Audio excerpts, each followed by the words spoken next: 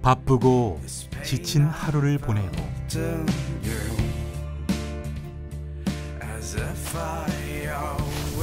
힐링이 필요한 당신을 위한 휴식 같은 공간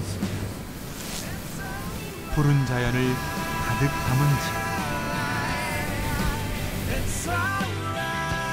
지금 바로 마이 맨션이 찾아갑니다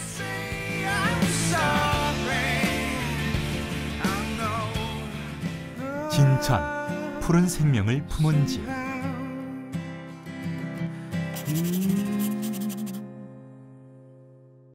오늘 여러분을 초대할 곳은 충북 진천. 깊은 산과 계곡 그리고 들판이 시원하게 펼쳐진 풍경 사이로 유난히 예쁜 코발트 블루 색상과 반짝반짝한 유리가 한눈에 쏙 들어오는 유럽풍 전원주택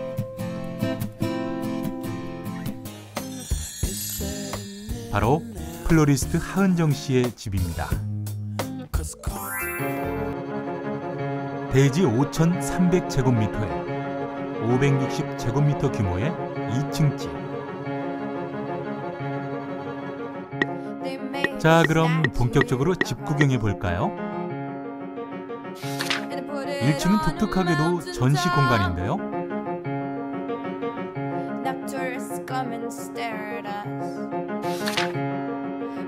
집에 웬 전시 공간? 궁금하시죠?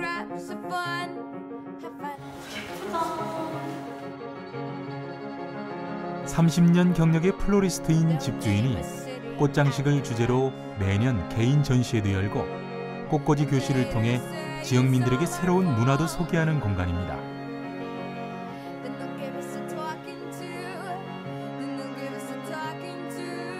평소에 전원 생활을 꿈꾸던 그녀는 10년 전 화해 농가와의 인연으로 진천으로 귀촌했다고 합니다. 정말 그 높은 곳에서 계셨다가 이렇게 내려오시는 건 쉽지 않으셨을 것 같은데 어떠세요? 제게 영향을 끼쳤던 사람은 헤르만 헤스예요. 그분이 노년에 정원을 가꾸면서 이제 제긴 세월 보내셨는데 돈이 행복한 건 아니잖아요. 어느 날 나 내가 없죠. 그러니까 나를 위해 살 시간이 필요하더라고요. 지금은 후회는 안 하세요? 후회가 없죠. 보람이 있죠. 나 자신으로서 충실히 작품 활동하고 지역에 또 많은 사람들한테 내 작품을 보여주고 가르쳐주고 저는 그런 걸 보람이라고 생각해요. 하나의 예술 작품을 완성하기 위해서는 수많은 수정 과정이 필요하듯 전원 주택도 살면서 조금씩 고쳐나가야 한다는데요. 10년 시행착오로 얻은 예쁜 정원과 집을 만드는 법 함께 알아볼까요? 먼저 예쁘게 단장된 정원.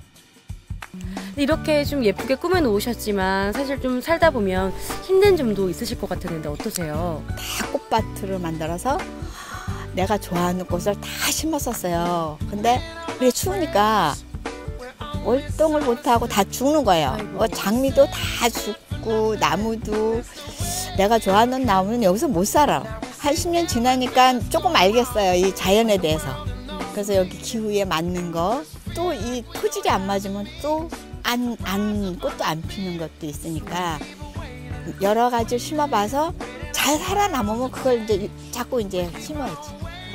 딱 그 자리에 맞는 식물들이 있는 네, 거네요. 네, 그런 것 같아요. 좋아하는 꽃을 욕심 부리다 보면 정원 관리가 점점 힘들어진다는 것. 선생님 보니까 과실나무를 많이들 선호를 하잖아요. 저 같은 경우도 그렇거든요.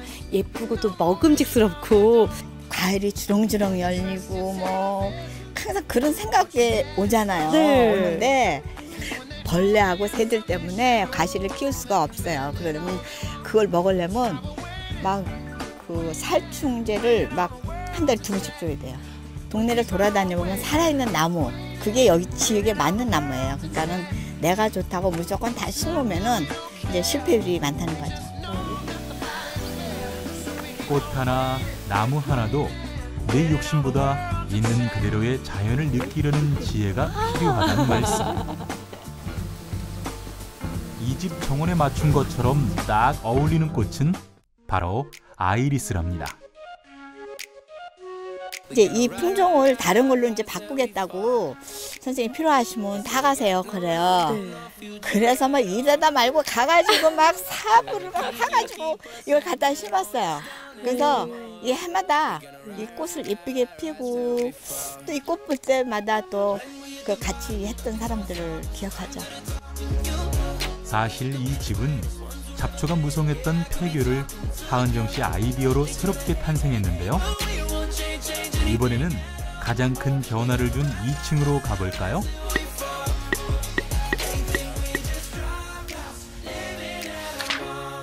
살림집 양옆에 날개처럼 펼쳐진 두 개의 발코니.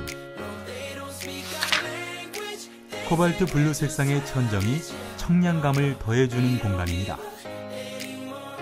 무엇보다 이곳에 서면 아름다운 정원과 산 전망이 한눈에 들어오는데요. 사계절 다른 모습을 조망할 수 있어 하은정 씨와 가족들이 가장 사랑하고 있습니다. 지붕이 되게 예뻐요. 이거요? 네. 원래 집은 지붕이 없었어요. 슬하고 2층 집이었는데 오래되니까 자꾸 누수 생기고 나뭇잎들이 지붕이 막 깔려서 막 있으니까 눈이 와도 이게 눈이 녹아서 못 내려가요. 그래가지고 어, 2층에 스케이트장인데 원래 우리의 집이 지붕이 약간 뾰족했잖아요. 네. 그게 다 이유가 있는 거는 선생님? 이유가 있, 있어요 분명히. 그래서 나는 이 다음에 집주면 꼭 이렇게 뾰족하게 지을 거예요. 오, 눈도 글쎄 싹 내려가고 비도 네. 싹 내려가고 정말 살아보신 분만이 하실 수 있는 그런 말씀인 것 그런 같아요. 거예요. 네. 다른 한쪽의 발코니 공간. 똑같은 공간이지만 또 다른 바깥 풍경을 볼 수 있는 특별한 장치가 이곳에 있다는데요. 지금 제 눈앞에 보이는 게 있는데 반짝반짝 빛나는 저게 너무 궁금해요. 뭐 같이 보여요? 어, 약간 그냥 실린더?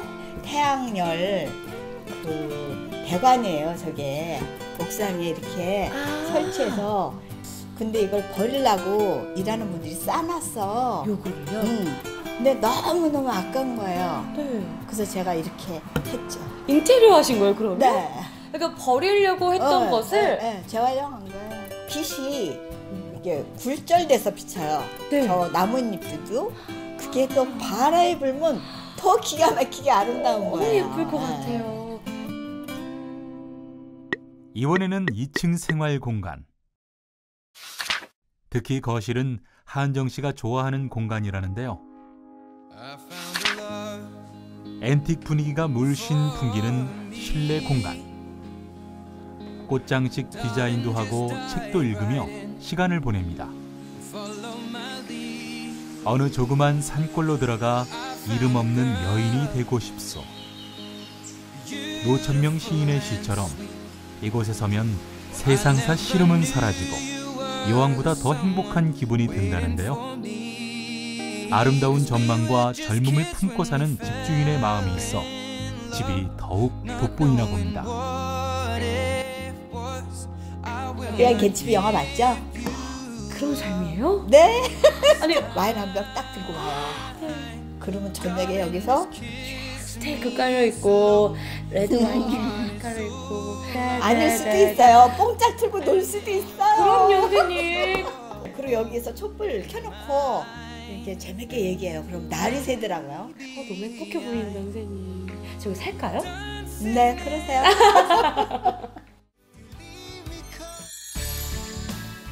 획일화된 콘크리트 건물이 아닌 맨발로 땅을 밟고 나만의 공간에서 편히 쉬고 싶으신가요? 여기는 자연이 숨쉬는 집, 진천의 전망 좋은 집입니다. 저 푸른 초원위에 그림 같은 집을 짓고, 마이 맨션!